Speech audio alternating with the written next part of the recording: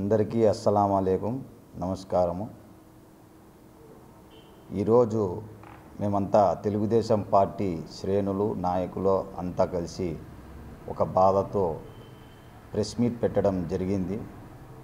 ఏమి విషయం అనగా దాదాపు ఆరు రోజులు అవుతుంది ఒక మైనర్ బాలికపై ఇద్దరు అడ్వకేట్లు. వాళ్ళు చాలా దారుణంగా ఆ మైనర్ బాలికని బంధించి కొట్టడం జరిగింది. ఆ మైనర్ బాలికను కొట్టి హింసించి చావు బతుకుల్లో ఉంటే ప్రభుత్వ ఆసుపత్రి దగ్గర ఆ పాపని పడేసినారు. ఆ ప్రభుత్వ ఆసుపత్రి దగ్గర పడేయడంతో ఆ మైనర్ బాలికని కొందరు హాస్పిటల్లో చేర్చి ఆసుపత్రిలో చేర్చి చికిత్స నిమిత్తము దాదాపు మూడు రోజులైంది మూడు రోజులు యా పదహారో తేదీ నాడు నైట్ జరిగింది ఈ విషయము. పంతొమ్మిది ఇరవై తేదీ వెలుగులోకి వచ్చింది అంటే ఆ బాలిక పైన ఏదో అత్యాచారం జరిగిందని వాళ్ళు చెప్పడం జరుగుతుంది. దానికి గాను తెలుగుదేశం పార్టీ తరపున మేమంతా పరామర్శించేకి నాలుగు పంతొమ్మిదో తేదీ అక్కడికి వెళ్ళడం జరిగింది. పోవడంలోనే మేము అక్కడ సూపర్డెంట్ని దర్యాప్తు చేసినాము. వాళ్ళు స్పందించలేదు. ఆడ డిపార్ట్మెంట్ పోలీస్ డిపార్ట్మెంట్ వాళ్ళు కూడా ఉన్నారు. డిపార్ట్మెంట్ వాళ్ళు మా మీదికే బెదిరించడం జరిగింది. ఆ బాధతో బయటికి వచ్చి మేము ప్రభుత్వ ఆసుపత్రి బయటికి వచ్చి రోడ్డు పైన బయట ఇచ్చినాము. ఇందులో జనసేన సిపిఐ సిపిఎం కుల పార్టీలు అందరూ సహకారంతో ఆ మైనర్ బాలిక కోసం పోరాడడం జరిగింది. ఇందులో భాగంగానే నేను ఏం తెలియజేస్తున్నానంటే ఈ రోజుతో ఆరు రోజులు ఏడు రోజులు అవుతుంది ఆ మైనర్ బాలికపై జరిగి అఘాయిత్యం జరిగి. ఆ మైనర్ బాలికకి ఎవరూ లేరు తల్లి తప్ప. మేమంతా ఆ పాపకి మేమంతా ఉండాము అని చెప్తే ఎలాంటి భయప్రాంతులు చేసినారంటే ఈ అడ్వకేట్లు వసంత లక్ష్మీబాయి రమేష్ వీళ్ళిద్దరూ ఎలాంటి భయప్రాంతాలు చేసినారంటే ఆ పాపకి మగవారిని చూస్తేనే అరుస్తూ ఉంది బాధపడతా ఉంది భయపడతా ఉంది. ఈరోజు సభ్య సమాజం తలదించుకుండే రోజు. ఎందుకంటున్నానంటే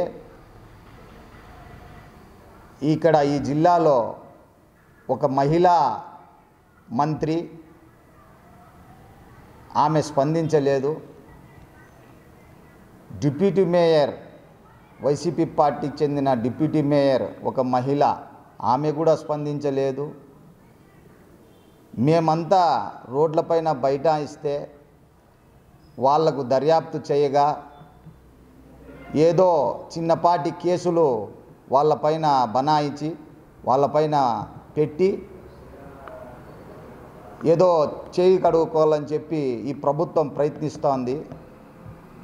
Telugu Desam party Janasena party CPI CPM మేమంతా కలిసి మిమ్మల్ని వదిలిపెట్టే ప్రసక్తే లేదు. ఆ నిందితుల్ని మీరు శిక్షించే వరకు మేము పోరాటం చేస్తాం. మీరు ఈ మాటని మర్చిపోకండి. ఎందుకు చెప్తున్నానంటే ఎక్కడో రాష్ట్రంలో జరిగితేనే అనంతపూర్ వాసులంతా ధర్నాలు రాస్తారోకులు చేసినారు. అలాంటి అనంతపురం హెడ్ క్వార్టర్లో జరిగింది. మేము ఆల్ పార్టీస్ నాయకులు నిద్రపోవడం లేదు. దీనిపైనే ఆ పాపని ఏం చేస్తున్నారు అనేది మాకు భయం చుట్టుకుంది. ఎందుకంటే ఆరు రోజులైతే అన్నా కానీ ఆ పాపతో ఏదో ఒక మత్తు మందులు ఇచ్చుకుంటూ డాక్టర్ సమాధానం కూడా అక్కడక్కడ దెబ్బలు తగిలినాయని చెప్పడం ఇది ఎందుకో మాకు అనుమానానికి దావతీస్తుంది. దీనికి ఈ ప్రభుత్వము తక్షణమే స్పందించాలి. లేనిచో ఇంకో ముఖ్యమైన గమనిక. ఈ అర్ అర్బన్లో ఒక ఎమ్మెల్యే అనంత వెంకట్రామరెడ్డి ఆయన కూడా ఉన్నాడు.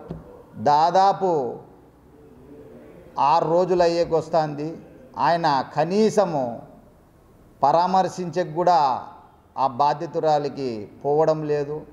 ఎందుకు మైనారిటీలు ముస్లింలు అంటే మీకు అంత హేళన అంత చికాకు? మా ఓట్లు కావాలా మీకు? మా బాధలు అవసరం లేదు.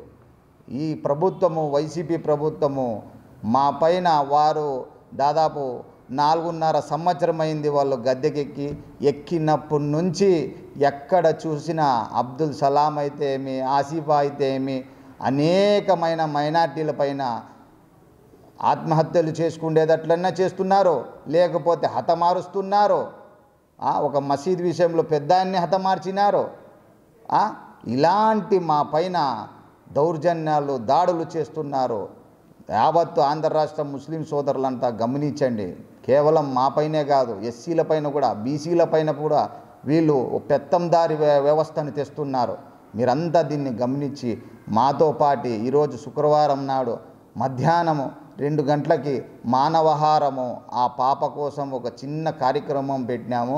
సప్తగిరి సర్కిల్లో అందరూ రావాల్సిందిగా కోరుతున్నాము అస్సలం